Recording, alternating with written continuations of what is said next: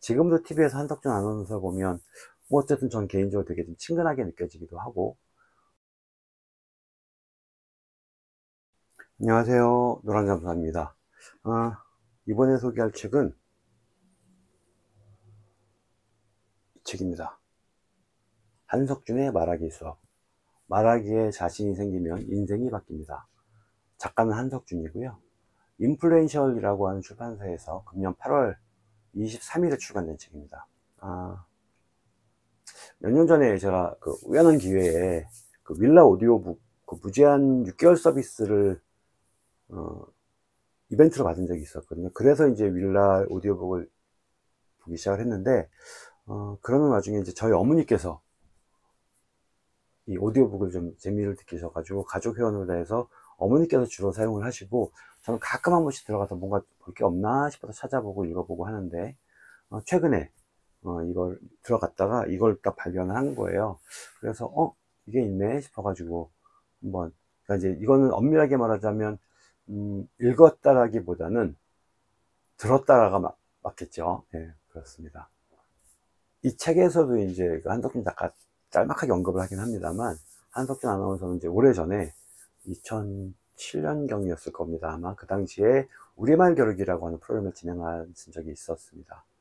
네, 그런데 어, 제가 그때 우리말 겨루기에 출연을 했었거든요. 그 당시에 제 딸아이가 지금은 이제 다 큰 성인입니다만 제 딸아이가 유치원생이었었는데 출연기념 사진 찍은 것도 지금도 갖고 있습니다.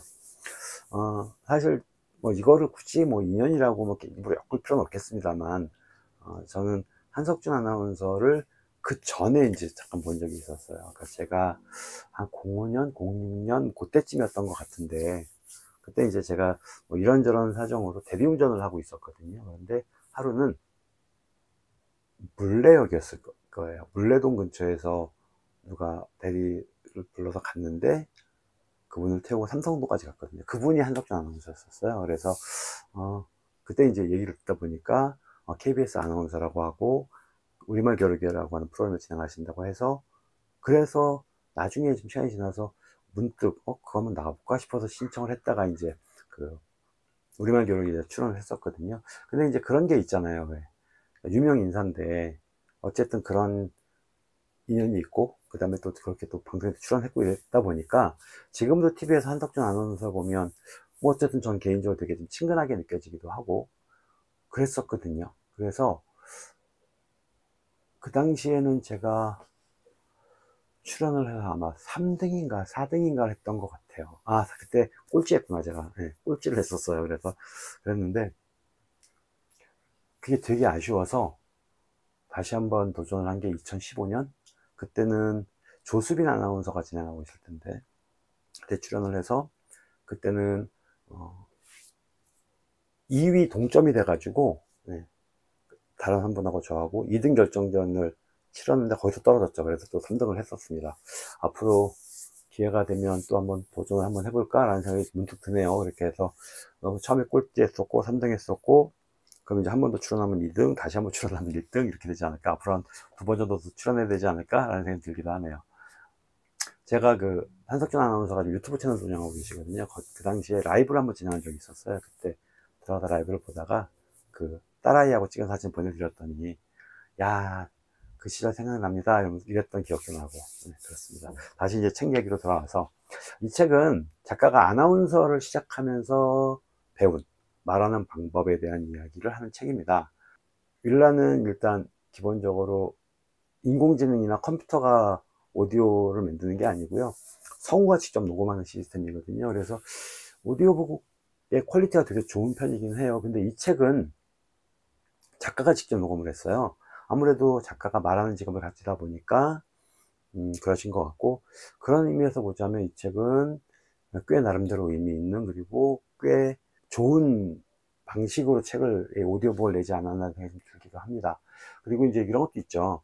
일러 오디오북에서 다른 책들을 들어보면 우리가 모르는 성우들이잖아요. 그런데 이 한석준 아나운서는 TV에서 듣던 목소리다 보니까 음, 뭐랄까 좀 익숙한 목소리라서 조금 더 어, 쉽게 들을 수 있는 그리고 집중할 수 있는 그런 느낌이 좀 받아서 야 목소리의 힘이 이렇게 대단하구나 라는 생각을 좀 했습니다.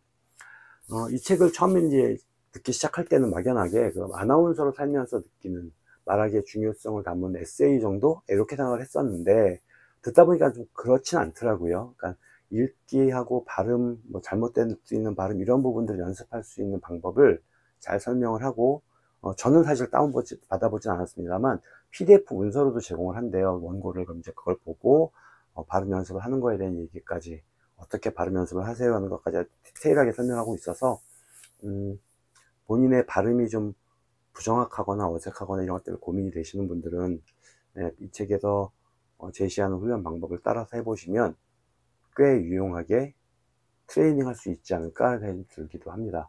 그래서 제가 이 책을 음, 글로다가 읽었으면, 그러니까 종이책으로 읽었으면 되게 느낌이 달랐을 것 같아요. 예, 작가가 글로 써놓은 말하는 방법에 대한 설명과 그 내용을 말로 하는 것과는 정말 다를 것 같아요. 그래서 윌라 오디오북에서 지금까지 읽었던 책들 중, 그러니까 들었던 책들이라고 얘기해야 되겠죠. 들었던 책들 중에서 어, 이 책의 의도와 가장 잘 맞는 오디오북이 아닐까 라는 생각을 좀 하기도 했고요. 그리고 어, 보니까 한석준 아나운서가 이 스피치 아카데미를 운영하시나 봐요. 그래서 거기서 있었던 수강생들 다양한 사례들로 소개하는 것도 있어서 어, 꽤 예, 그런 부분들에 대해서 좀 음, 나름대로 경험담과 본인이 이제 아나운서 하면서 겪었던 경험담과 그리고 그 아카데미를 운영하면서 겪었던 경험담들을 충분히 아우르는 그런 책이 아닐까라는 생각을 합니다.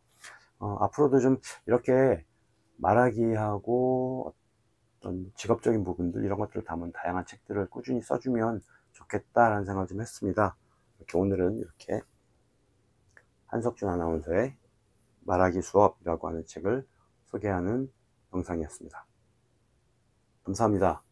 노랑잠수이었습니다